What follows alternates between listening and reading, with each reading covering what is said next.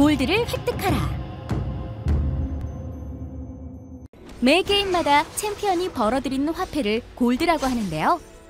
골드는 게임을 진행하면서 여러 가지 경로를 통해 획득할 수 있습니다. 일단 게임이 시작되면 일정 간격으로 소량의 골드를 자동 획득합니다. 하지만 이것만 믿고 가만히 서 있거나 해선 안 되겠죠.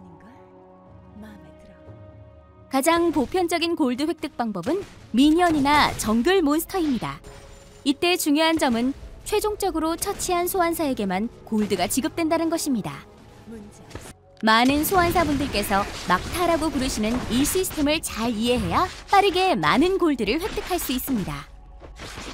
본인이 마지막으로 처치하여 골드가 획득되면 획득한 만큼의 골드가 화면상에 표시되니까 직관적으로 알기 편할 거예요. 가끔 본인이 담당하지 않은 공격로에서 마구 미니언을 사냥하거나 초반에 정글러가 사냥할 몬스터를 마구 처치하시는 분들이 있습니다. 모두 골고루 성장하기 위해서 서로서로 배려하는 마음이 필요해요. 적 챔피언을 처치할 경우는 조금 다른데요. 마지막 일격을 넣은 소환사는 많은 골드를, 함께 공격한 소환사는 어시스트로 기록되며 그보단 적은 보너스 골드를 획득합니다. 팀원 모두가 골드를 얻는 경우도 있습니다.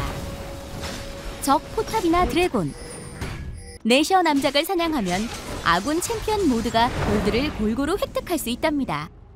100골드가 모자라 원하는 아이템을 못 사고 상점에서 고민에 빠져 있을 때 아군이 적 포탑을 파괴했다는 메시지가 들려온다면 아 생각만 해도 기동력의 장화를 신고 100m 경주에 나간 기분일 거예요.